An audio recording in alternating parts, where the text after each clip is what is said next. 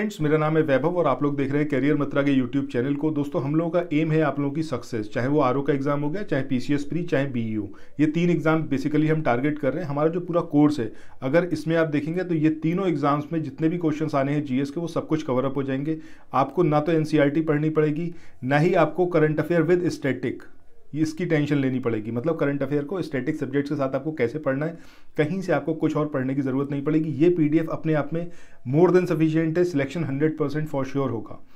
अब यहाँ पर अगर आप चाहते हैं इस कोर्स में एनरोल कराना तो nine zero two seven two eight one three seven six और six three nine five six four double nine zero one these are the numbers where you can contact us आपको जो ये course provide किया जा रहा है, ग्यारह सौ निन्यानवे रुपये का टोटल कोर्स है, जिसमें आपको ये सारी चीज़ें प्रोवाइड की जाएँगी।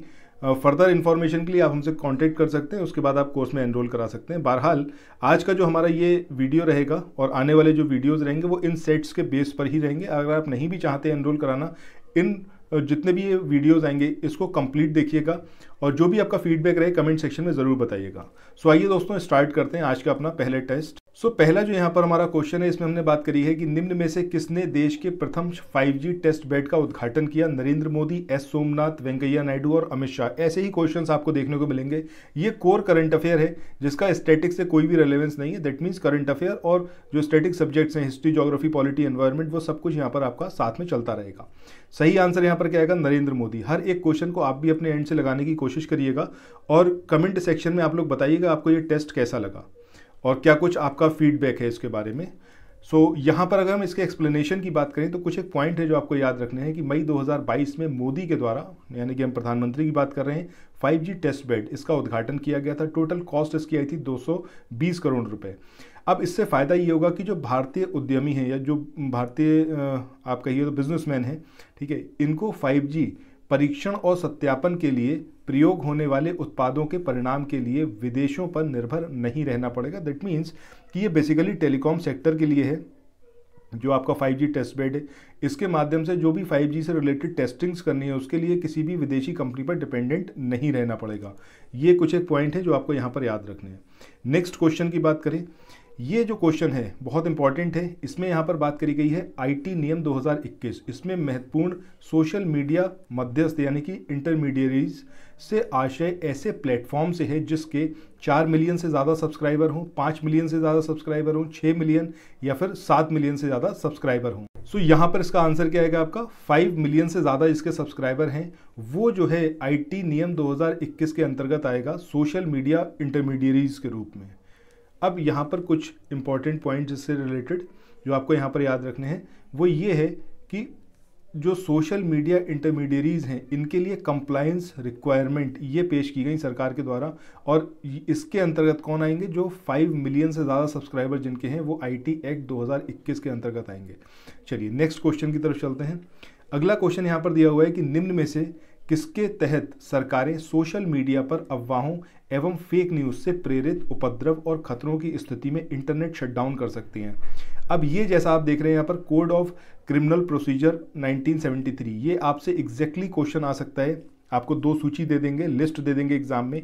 एक तरफ़ आपको ये लिखा होगा कोड ऑफ़ क्रिमिनल प्रोसीजर दूसरी तरफ़ लिखा होगा उससे रिलेटेड ईयर तो आपको ये याद रखना है 1973 हर क्वेश्चन के साथ में भी जो फैक्ट्स हैं उसको आपको याद रखना है।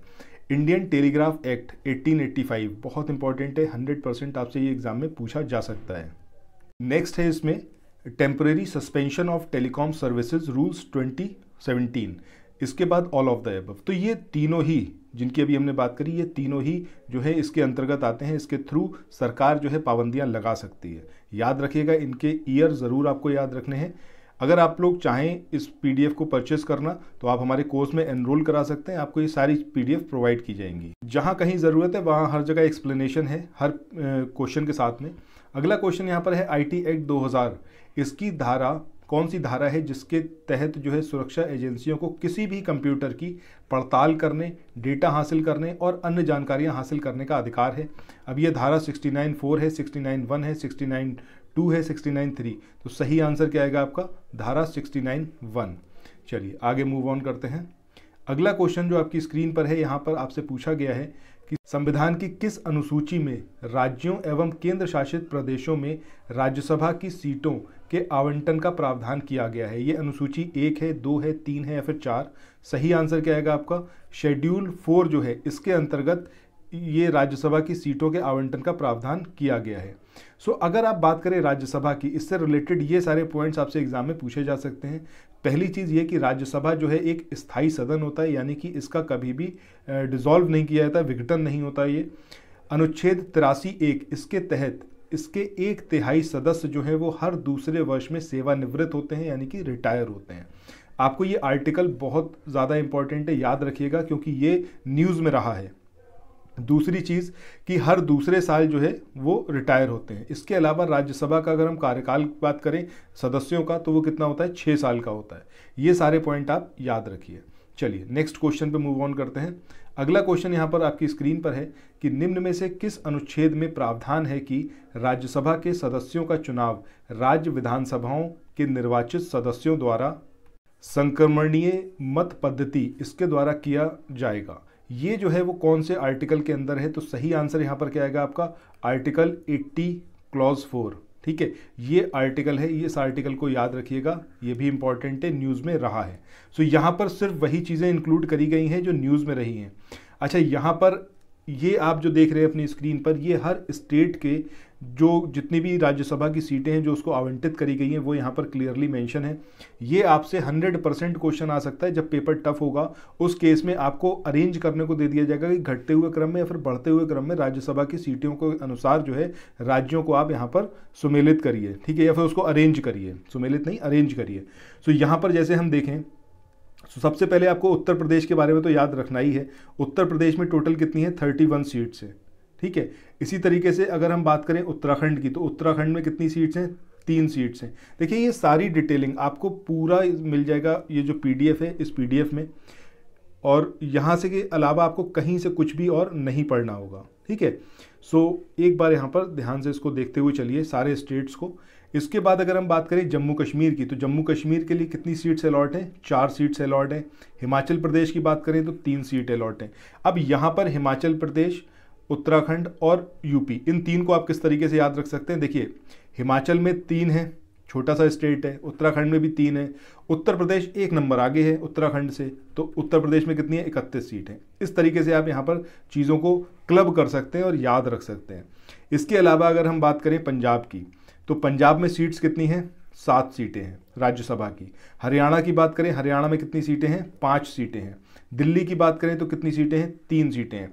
अब यहाँ पर आपका हिमाचल, उत्तराखंड, दिल्ली और यूपी। इन सब में क्या है? तीन मतलब इकाई की संख्या जो है वो तीन है। इस तरीके से आप याद रख सकते हो।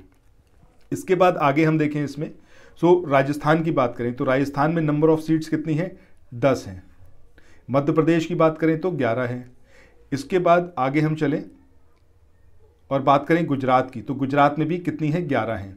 ठीक है? अब यहाँ पर आप इसको क्लब कैसे कर सकते हो? इसको आप इस तरीके से क्लब कर सकते हो कि जैसे ही आप राजस्थान की बात करोगे, राजस्थान दस होगा, इसके बाद आप बात करोगे मध्य प्रदेश की ग्यारह और गुजरात की ग्यारह। तो दस, ग्यारह ग्यारह। इस तरीके से आप इसको यहाँ पर याद रख सकते हैं। इसके बाद नीचे हम चलें, महाराष्ट्र की बात करें तो महाराष्ट्र में कितनी सीटें हैं? उन्नीस, नाइनटीन सीट्स हैं। गोवा छोटा सा है, एक सीट है सिर्फ़। इसके बाद कर्नाटका की बात करें तो बारह सीटें हैं कर्नाटका में। नेक्स्ट और नीचे चलें और हम बात करें केरला की तो केरला में कितनी है? नौ सीटें हैं। सॉरी कर्नाटका में कितनी है? बारह सीटें हैं। केरला में कितनी है? नौ सीट्स हैं। इसके बाद तमिलनाडु की बात करें तो कितनी है? एट्टीन सीट्स हैं। पुदुचेरी, यूनियन टेरिटरी है, एक सीट है। आंध्र प्रदेश की बात करें तो आंध्र प्रदेश में कितनी है? ग्यारह सीट्स हैं। इसके बाद आगे हम बात करें तेलंगाना की तो तेलंगाना में कितनी है? सात सीटें हैं। अगर आप लोग चाहेंगे तो इसका एक ट्रिक भी बना दिया जाएगा कि किस तरीके से आप इसको याद रख सकते हैं। अगर यहाँ पर थोड़ा बहुत आपको प्रॉब्लम हो तो इसके बाद नेक्स्ट अगर हम बात करें उड़ीसा की तो उड़ीसा में कितनी है? दस सीटें हैं। झारखंड की बात करें, झारखंड में कितनी है? छः सीटें हैं। छत्तीसगढ़ की बात करें तो पाँच सीटें हैं। वेस्ट बंगाल में कितनी हैं? सोलह सीटें हैं। ये सब राज्यसभा के बारे में ही हम यहाँ पर बात कर रहे हैं। बिहार की हम बात करें तो सोलह सीटें हैं बिहार में। इसके अलावा सिक्किम की बात करें, छोटा सा है, एक सीट है। असम की बात करें, असम में सात सीटें हैं। बाकी जितने नॉर्थ ईस्ट के स्टेट्स हैं सब के अंदर एक एक सीट्स है। किसकी? राज्यसभा की। सो इस तरीके से यहाँ पर आप इसको याद रख सकते हैं। आपको कहीं से कुछ भी और देखने की ज़रूरत नहीं पड़ेगी। ठीक है? चलिए। सो so, इस वाले वीडियो को मैं यहीं पर एंड कर रहा हूँ। आई होप आपको ये PDF अच्छा लगा होगा और ये वाला जो सेशन है ये इन्फॉर्मेटिव लगा होगा। ऐसे ही वीडियोस के लिए चैनल को तुरंत सब्सक्राइब करिए नोटिफिकेशन बेल के आइकन को तुरंत प्रेस करिए। हर एक वीडियो को कंप्लीट देखिए। If in case you are not interested in enrolling in the course कोई दिक्कत नहीं है। आप हर एक वीडियो कंप्लीट देखिए, काफ़ी कुछ आपकी यहाँ से हेल्प होगी। Thank you so much